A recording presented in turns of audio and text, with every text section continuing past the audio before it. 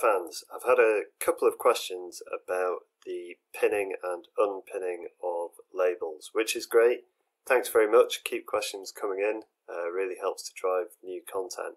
If you haven't seen the previous video on QGIS3 labeling, then please have a look at that. Uh, this is just a little kind of addition to that. So up here in our label toolbar, here we can highlight pinned labels and diagrams. So if I do this, you can see that we've got three here that are pinned. And what does this mean? What does a pinning actually mean? Well, if we pan across here, you should see that other labels start to move around. Whereas our pinned labels will actually stay where we've pinned them to. And that can be very useful if you don't want your labels to be shuffling around whilst you're panning about. So just to recap again, how do we do the pinning? Up here it tells us uh, we can pin and unpin labels and diagrams, click on marquee on labels. Holding shift will unpin and control will toggle our pin state.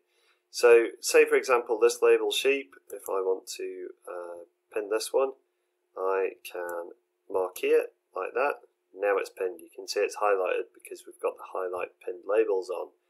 Uh, we can also just click on them, that's fine. And if I wanted to toggle these, I can hold control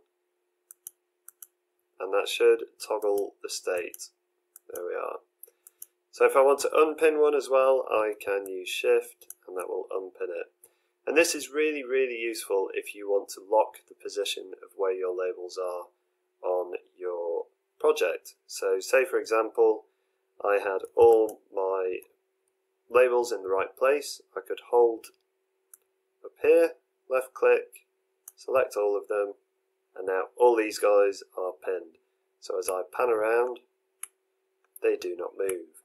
Now one thing to be very careful of here and to be aware of is that if I zoom in and out, it doesn't pin the scale of the label. The size is going to change depending on the map scale. So you can see that happening there. So pinning and unpinning does not do that, but it will stop them moving while you're panning.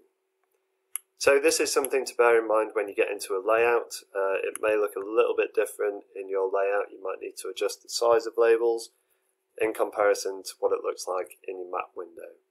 But I just wanted to run over that quickly because I had had a few questions. Questions are great, like I say, they do keep help driving content and give me ideas for new videos. So thanks very much to those of you that have been in touch.